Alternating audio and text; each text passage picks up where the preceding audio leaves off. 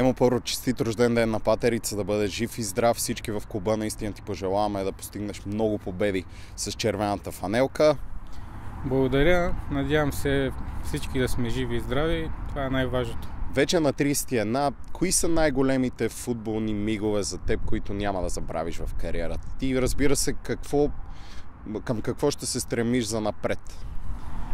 Еми, миговете, може би спечелването на купата, финала с, с който също така не успяхме да спечелиме класирането за Лига Европа, може би тези са най-приятните моменти, които съм изпитал.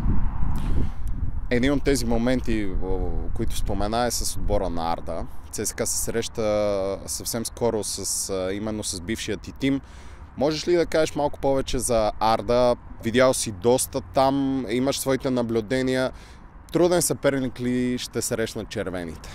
Разбира се, Арда е един много добър отбор.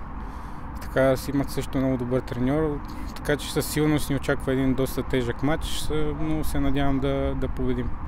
В същото време ЦСКА обаче наистина показа страхотна игра срещу Локомотив Пловдив. Ти беше наказан в този двобой. Какви бяха емоциите да гледаш мача отстрани, да не си на терена с другите? Видях, че доста се радваше след края му. Разбира се, доста е трудно като гледаш отстрани и не можеш да помогнеш, но наистина момчетата играха супер, вкараха много голове. Всяка победа е важна. Разбира се, това не трябва да ни успокоява. Трябва всеки матч да даваме най-доброто от себе си, за да му да печелим и да вървим нагоре. Какви цели си поставяме за матча в неделя? Със сигурност победа. Три точки.